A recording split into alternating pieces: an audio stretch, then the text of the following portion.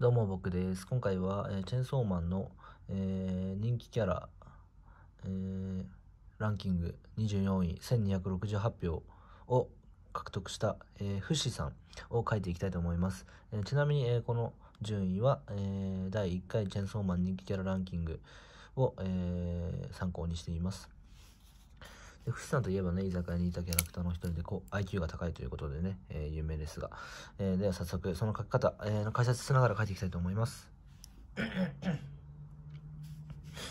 まず、えーもみあげですね。特徴的な尖ったもみあげに、えー前髪もチクチクしてる感じでイメージして書いていきます。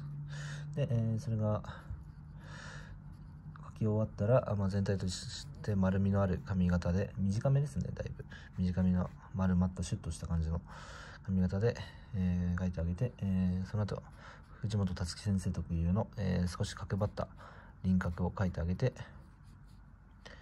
で、そしたらもうあっという間に、えー顔に入って、目ですね。目を描いていきます。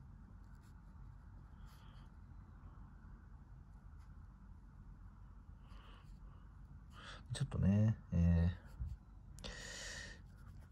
ー、モブサイコとかにも出てきそうな感じの目つきになってしまいましたが、こんな感じで、えー描いて、えー少し襟足を描いたら、完成になります。うん、なんとも言えん。